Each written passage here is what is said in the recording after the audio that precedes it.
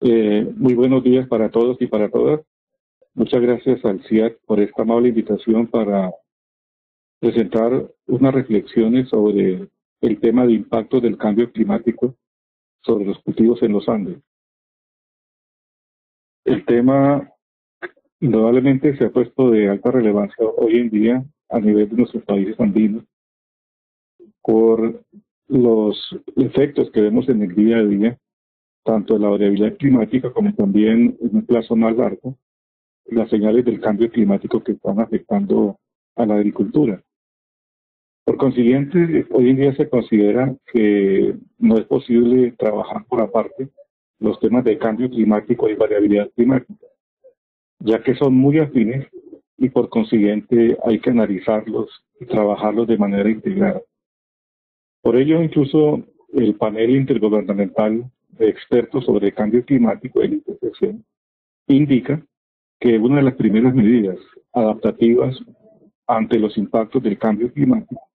es una buena adaptación en nuestros países ante los impactos de la variabilidad climática. Sabemos que el cambio climático tiene que llegar en el largo plazo el incremento de la temperatura del aire a través de decenios de años, mientras que la variabilidad climática ocurre más eh, en periodos cortos como semanas mensuales o incluso de uno. Por consiguiente, por ejemplo, cuando hablamos como de evento y la niña, estamos eh, tocando el tema de la variabilidad climática. El mismo cambio actuando con estos eventos niño y niña y las señales del niño y la niña pues son más eh, ahora más intensas y más frecuentes según algunos investigadores que los impactos generales del cambio climático y de la variabilidad del clima en la agricultura tienen que ver, por ejemplo, con mayores requerimientos de agua de los cultivos, ese incremento progresivo en la temperatura del aire está aumentando, por supuesto, la evapotranspiración de los cultivos y, por consiguiente, generan, generando ahora requerimientos de agua, mayores ahora que hace unos 20, 30 años atrás y, obviamente, décadas atrás. Pero igualmente está alterando el suministro normal de agua, ya que las lluvias ahora son más irregulares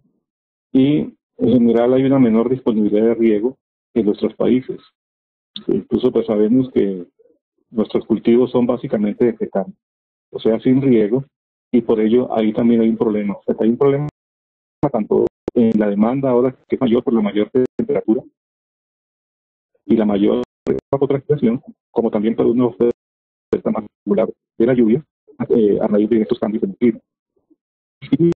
mismo estamos asistiendo a una serie de daños por ciclos alternos de temperaturas muy bajas, por ejemplo heladas, e igualmente por eh, lo que se llama olas de calor, o sea, periodos cortos de temperaturas muy altas, lo cual lleva a una mayor actividad de plagas y enfermedades en incluso territorios que antes no sufrían este tipo de impactos. Asimismo, hay mayores daños en los cultivos por eventos climáticos extremos, granizo y vendaval, que están ocurriendo ahora e incluso en zonas que antes no ocurrían y también con intensidades mayores que Y por tanto, mmm, tenemos ahora unos cambios importantes en la localización de regiones productoras y en los ciclos de los cultivos. O sea que este panorama de, de los impactos generales del cambio climático en nuestros cultivos de la región andina, indudablemente los campesinos son los primeros que, que lo mencionan hay todavía un debate importante desde algún sector que se podría llamar científico, cuando también hay muchas dudas sobre ello, acerca de si hay o no un cambio climático, por ejemplo. Pero cuando uno habla con los agricultores, en cualquier parte de Colombia o incluso de Perú, Ecuador, Bolivia, ellos enseguida manifiestan que el clima sí está cambiando, o sea, que el clima ha cambiado y por eso igualmente sus conocimientos ancestrales ahora no se ajustan realmente a esos registros que ellos tenían culturales. Y por consiguiente, si los principales actores, que son los agricultores, los campesinos, dicen hay un cambio climático, indudablemente que, es una, yo diría, es una manifestación muy seria y que nos implica que más allá de eso sí hay una, una percepción de este tipo de eventos por parte de los productores de la agricultura. Ahora, eh, es muy conocido eh, la expresión que indica que el riesgo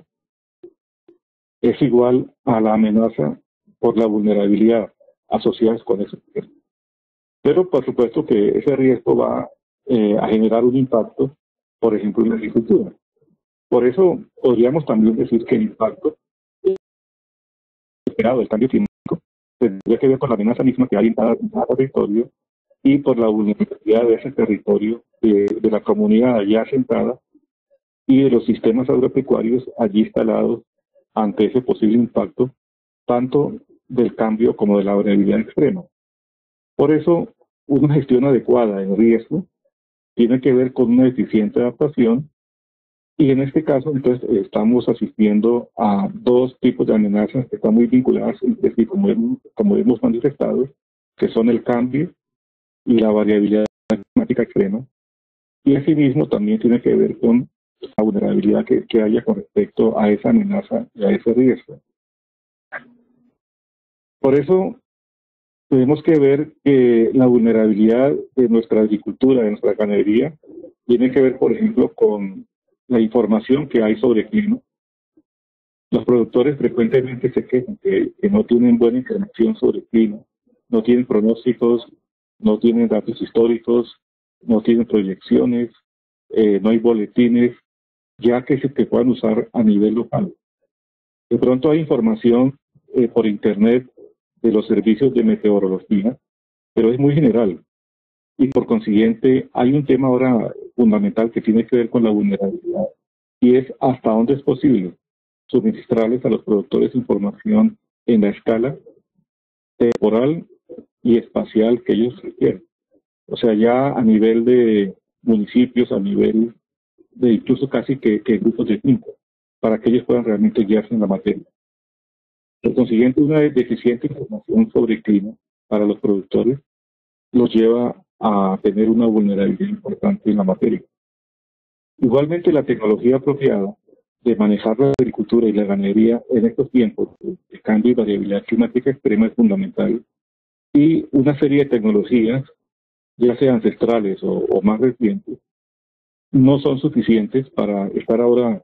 trabajando el, tema del cambio climático que exige, por ejemplo, cuando vienen eh, problemas de heladas, vendavales, huracanes, lluvias muy intensas, otros enfoques para ver de qué manera los productores se pueden arreglar o prevenir ante este tipo de eventos. Por ejemplo, eh, se habla sobre los seguros de cosechas, los seguros agropecuarios, que son una herramienta financiera muy importante que permite que cuando no hay tecnologías apropiadas, al menos se pueda transferir el riesgo eh, a una compañía de seguros que tendría eh, un apoyo, por ejemplo, en el caso de Colombia, del gobierno en cuanto al subsidio a las primas. Asimismo, hay temas ambientales que tienen que ver con la degradación de cuencas, ecosistemas, que hacen mucho más vulnerable un sistema agropecuario donde quiera que el ambiente ya está degradado, por ejemplo, por una intervención humana anómala. Asimismo, es importante ahora como nunca antes que hayan unas políticas públicas e institucionales sobre variabilidad climática y cambio climático que apunten a poder eh, compensar a los productores, a orientarlos para estar ahora acordes con la amenaza tan grande que hay. O sea que ahora mismo los ministerios a nivel nacional, los ejecutivos de regiones, de departamentos a nivel medio y las autoridades locales, los consejos municipales, eh, comunitarios, deben generar una serie de políticas que tomen en cuenta este nuevo problema del cambio climático y que generen también respuestas adecuadas para los diferentes sistemas agropecuarios involucrados. Ahora, el tema de los impactos, de los impactos del cambio climático, de la variabilidad climática en nuestros eh, agroecosistemas, como estamos diciendo, tiene que ver mucho con la vulnerabilidad eh, que está a su vez asociada con la forma en que el sistema reacciona ante un evento climático. Por ejemplo, en el caso de Colombia, eh, nuestra agricultura fue muy afectada por un evento El Niño que ocurrió entre los años de 1991 y 1992 y que generó una reducción muy importante de las lluvias en gran parte del país. Eh, como hemos dicho, la agricultura no está en gran parte de, secano y por ello la falta de lluvias golpea, impacta de manera directa la productividad y por supuesto los aspectos socioeconómicos que están vinculados y de seguridad alimentaria con la productividad. Pero en el caso de Colombia, paradójicamente, durante ese evento, el niño 91-92, el cultivo de caña de azúcar produjo sus rendimientos más altos en un periodo muy largo. O sea que realmente ahí se nota, el cultivo de caña de azúcar en Colombia tiene riego, tiene buenas reservas hídricas para, por ejemplo, enfrentar periodos de, de sequías y durante los eventos del niño, así como hay eh, bajas en la precipitación, hay incrementos en la temperatura e incrementos en la radiación solar y en la luminosidad. Por consiguiente, la caña de azúcar, que es un cultivo de tipo C4, que responde muy bien ante alta luminosidad y altas temperaturas, cuando tiene buena agua, lo respondió muy bien y llegó a rendimientos muy altos clima. O sea que eso muestra que realmente los climáticos, por ejemplo, de variación de cambio, no son buenos o malos per se. Lo, importante es que la vulnerabilidad sea baja y en eso tenemos que trabajar básicamente en nuestros países de manera importante. En ese mismo periodo, 91-92, durante ese evento del niño, el arroz de secano, o sea, el arroz en en Colombia, sí sufrió, por supuesto, mermas en rendimientos muy grandes, porque depende de las lluvias. Y aquí vemos un ejemplo muy claro. Como una misma amenaza, o sea, un evento del niño fuerte, produjo dos diferentes respuestas en dos cultivos en Colombia. Una positiva favorable por baja vulnerabilidad en el caso de caña de azúcar y un efecto negativo fuerte en el caso de arroz de secano por alta vulnerabilidad. O sea que esto nos muestra cómo indudablemente el avance en tecnologías apropiadas, en políticas ante este tipo de hechos son fundamentales. En Colombia hay una serie de investigaciones que están realizando diferentes entes eh, sobre eh, los impactos del cambio climático en los cultivos andinos, en los cultivos de Colombia, y sobre las señales que se están mostrando en diferentes partes del país. Por ejemplo, en el Corpo ICA, en la Corporación de Investigaciones Agropecuarias de Colombia,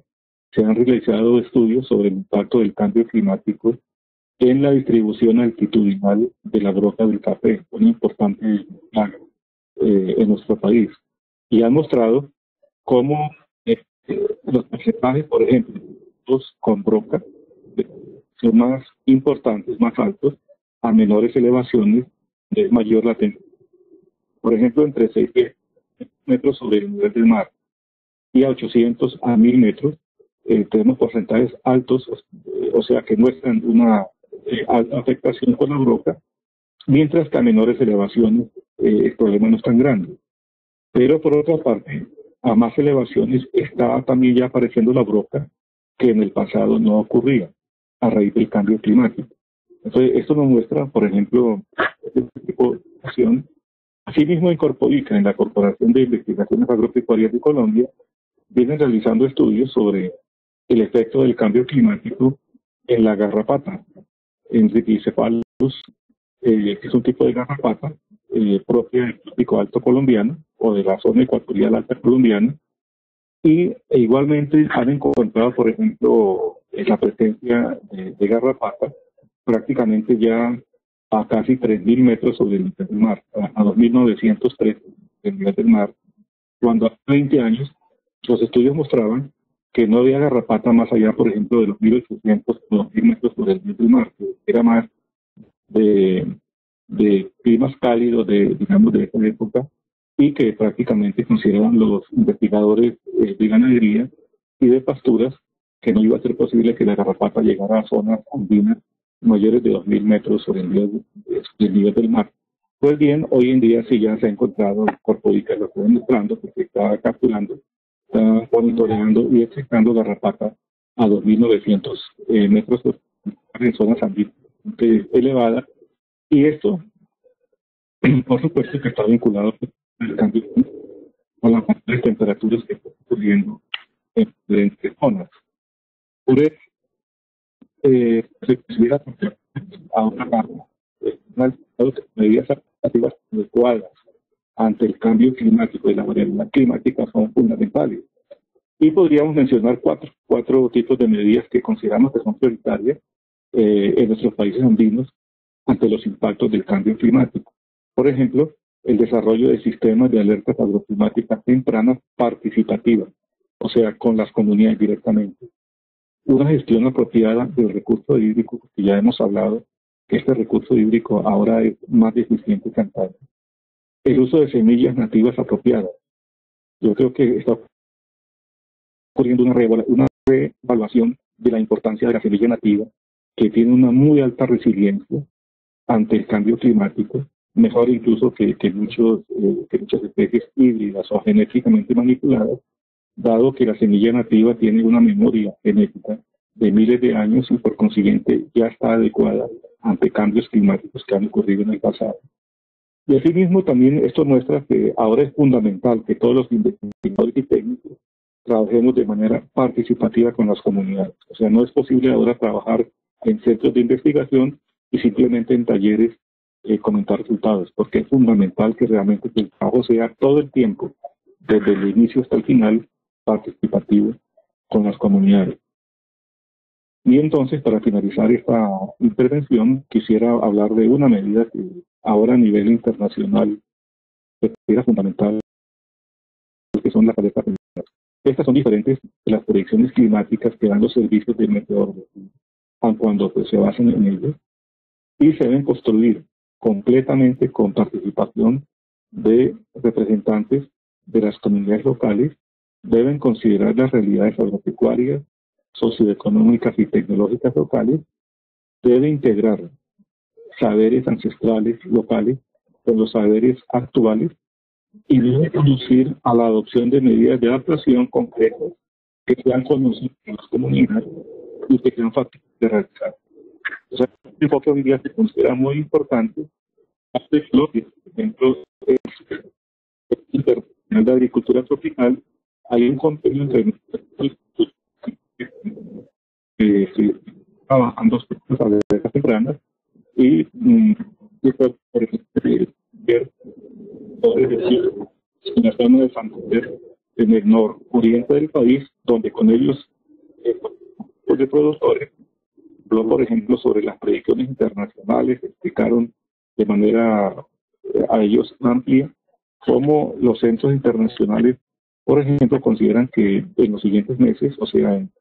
septiembre, octubre y noviembre, eh, es muy difícil que ocurra un evento del niño o la niña. O sea, que, que, no es, que no es infactible que ocurran eventos de alta sequía o alto exceso de lluvia generados por los eventos niños. O sea, ellos ya,